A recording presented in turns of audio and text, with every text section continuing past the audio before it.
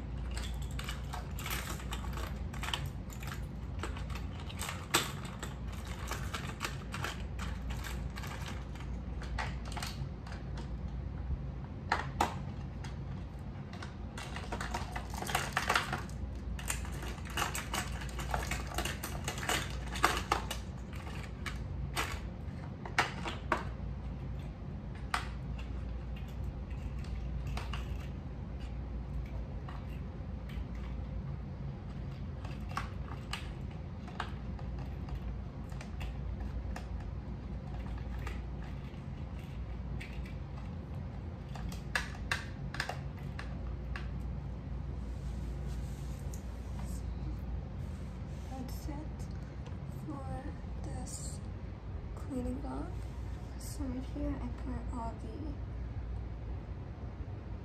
smaller fish um, bait up here. And these are all the metal bait. So it's not as it's not as heavy up here. Here I have the this tool. Here I got all the more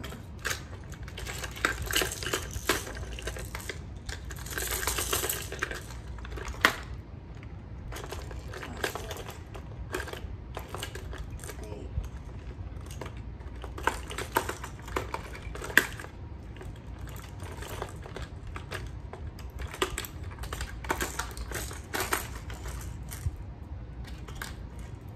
Right there. Right here I have all the shrimp. And then the metal bait that's in bags right over here. And then in here we have all the bigger you know, tools and, and stuff down here that we have access to like you know, the wire, fishing wire and things like that. But yeah, I think everything looks so much better. And I think he's gonna be really happy with his new um, organized tackle box. So if you want to see more like these, let me know in the description and um, comment section and I'll bring those videos up to you. But that's it, this video, and I'll see you guys in the next one.